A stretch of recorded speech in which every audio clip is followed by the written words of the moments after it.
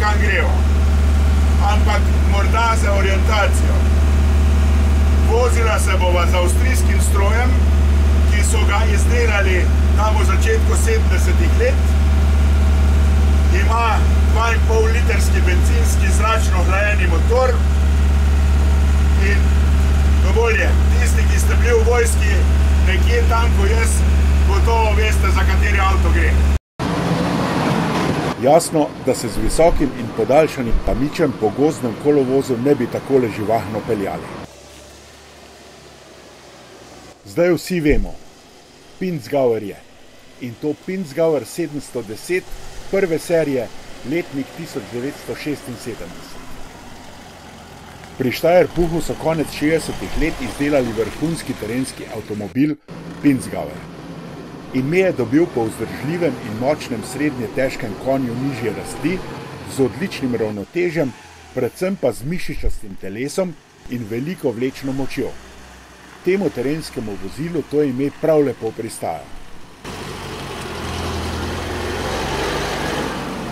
Pinzgauerje so izdelovali v 4 in 6 kolesni varianti s številnimi različicami. Terensko vozilo za prevoz ljudi s platneno ali strdno streho, vojaško, reševalno in gasilsko vozilo ter še več. Zračno hlajeni benzinski motor v osnovi poganja samo zadnji kolesi. Na prvi pogled bi menili, da je 64 oziroma 67 kW premalo, a zaradi terenskih prestavnih razmerij ovire premaguje kot zastavo. Motor ima 2,5 litra prostornine in velja za nezahtevnega in praktično neuničljivega. Takšen je tudi zobniški prenos za pogon odmične gredi. Le vrti se pri višjih vrtljajih kot primerljivi dizelski agregati. Prednji pogon je priključljiv, obe oziroma vse tri preme pa imajo diferencialne zapore. Zato to vozilo zlepa ne obtiči. To dobro vedo tudi gasilci PGD Kostanjevica na Krasu, ki ga še vedno s pridom koristijo, je povedal njihov predsednik Tihomil Pahor. Ta Pinsgauer, ki nam ga je posodil Marjan Linard, je bil najprej vojaško, kasneje pa gasilsko vozilo. Kljub grobemu videzu je vožnja po asfaltu z njim čisto spodobna in niti ne pretirano glasna. Po makadamu zaradi posamičnih obes izjemno dobro blaži udarce, na neurejenih podlagah pa je obdobje konec, tako kot pri večini pravih terencev.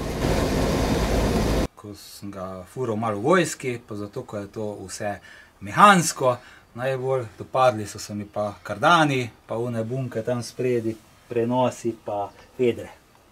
Kupili smo ga, v začetka sem hotel sicer vojaškega, žena ni želela zelene barve, zato ker je vojaški, pa sem pa najdel rdečega, ko je služil na zadnjo gasilcem, pa ko sem ga videl, pa ko sem ga prvič pelal, sem dal aro, pa drug dan šel po njega, pa ga pripelal. Da ga pa imam.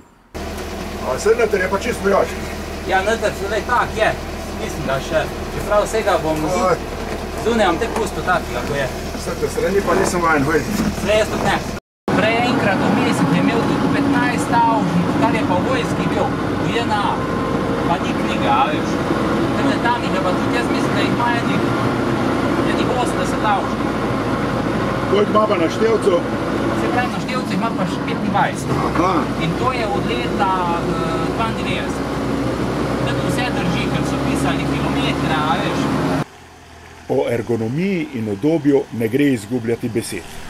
Izdelali so ga za vojaške potrebe, vojaki pa so telesno dobro pripravljeni, spretni in vzdržljivi. Že zato, da pridete do sedeža, morate imeti malo da ne alpinistično znanje.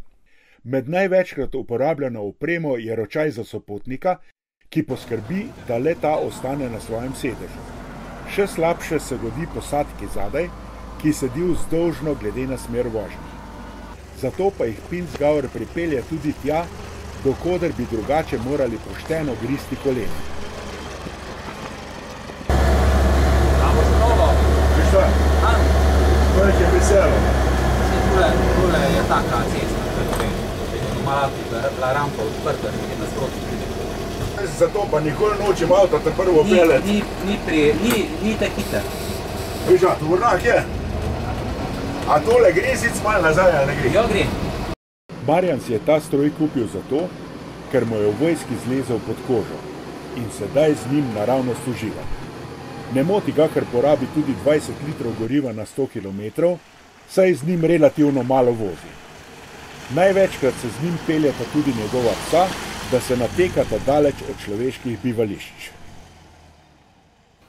Drugač pa to je avto za dušo, da se peleš malo gošo, ne gledaš, kje je cesta, pa da malo pošraufaš, pa da malo se zamotiš. Pincgauer se ne ustraši še tako zahtevnih pogojev in zlepa mu ne zmanjka sape. Prav nič ne preseneča, da so ga za svoje vozilo izbrale številne vojske po svetu.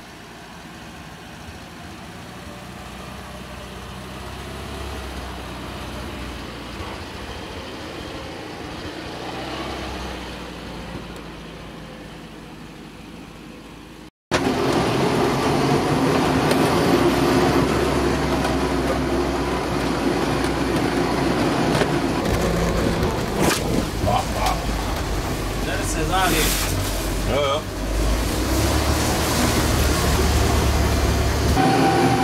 Tole pa tudi ni problem, če kamero, če sliko tresem, jel Branko?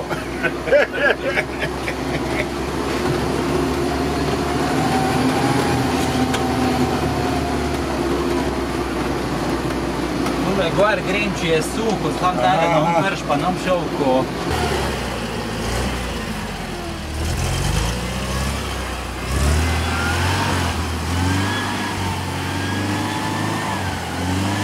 Videti je bilo, da bo Marjan s svojim pincem, kakor mu ljubkovalno pravi, ostal v blatu.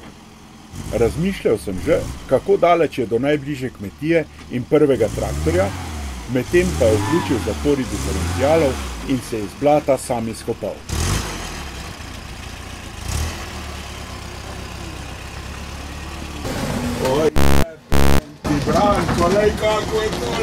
Nekateri pravijo, da se zaradi velike odmaknjenosti od tal hitro prevrne.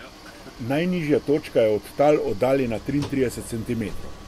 Toda težišče, zlasti pri varianti s platneno streho, ni previsoko, saj velik del teže predstavljata cevna šasija in pogonski sklop. Tega, da včasih dvigne kakšno kolo, se je treba pa navaditi.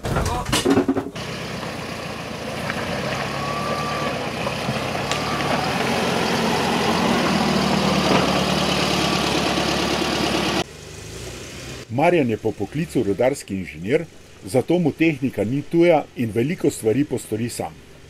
V njegovih rokah bo Pinsgauer prav gotovo še dolgo v solidnem voznem stanju. Zaradi namenov, za katerega uporablja, pa ga ne bo preveč minil. Marjan se strinja. Srečno vožnjo in čim manj okvar želim.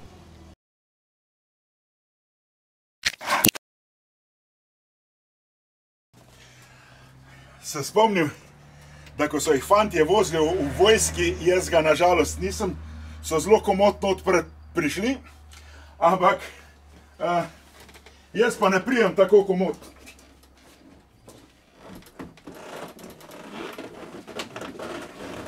Ampak ko sem pa enkrat noter, sem pa noter. Ta stran je res tu masta za, za Ja, ja. Tule pride vsak pilot. ja, una je pa v redu. A, pa. Malo gasa Ne, ne, kar, tule imaš, tule. Ma gasamo, dej. Ja, ni dizel več. Pa ne. Tudi ven ni zelo preprosto.